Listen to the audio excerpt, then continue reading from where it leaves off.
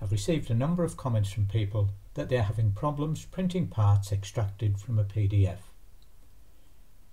When you use Inkscape for editing, it will not print all of the parts once you've edited. As I've said here, I won't show you the problem, I'll show you the solution. When we import a PDF, we normally go to File, Import, and then let it go and pick up the PDF. Instead of doing that, just go to File, Open, and go directly to the PDF and open it. Then select just one page rather than all of the pages for this example. It will then bring one page of this Scalescenes Low Relief Arches onto the page.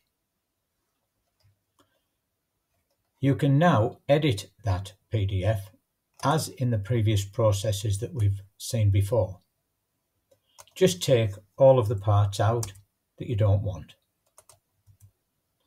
And rather than go through every single bit, I'll now skip to when we've edited everything out.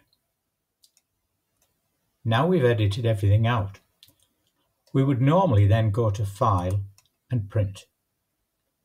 And when you go to File, Print, you will see that it automatically calls up printing from a Win32 application rather than the printer, which allows you to check all of the things you wanted to do, such as the uh, size of the page. This does not allow you to do that.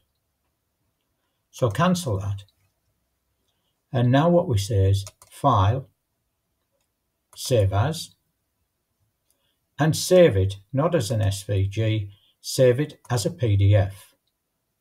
And in this case, I'm adding the suffix to it of ink. Do Not save it as the same file or you'll overwrite the original file that you've got. And then save.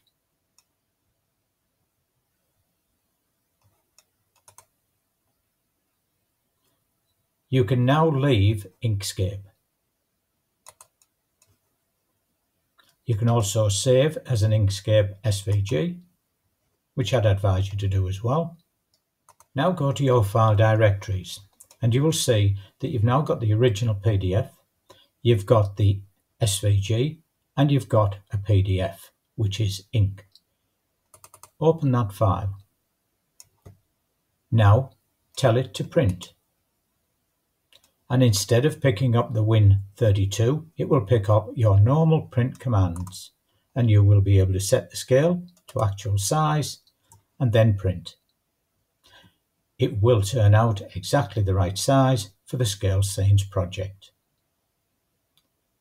I hope this helps and if you've got any questions, please put them in the comments. Thank you.